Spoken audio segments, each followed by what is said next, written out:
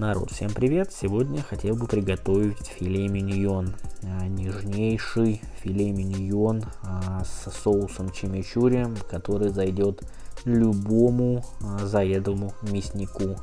Советую приготовить дома. Нарезаем хороший стейк, соль, оливковое масло, перчить в конце. И жарим по одной минуте. Но для начала ароматизируем масло. А чеснок я подам вместе и уберем его в духовку по одной минуте с каждой стороны.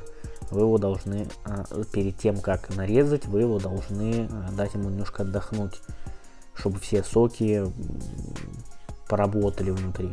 Подавать а, соусом чимичури получается свежо, годно и вкусно. главное, даже немножко красиво. Всем советую.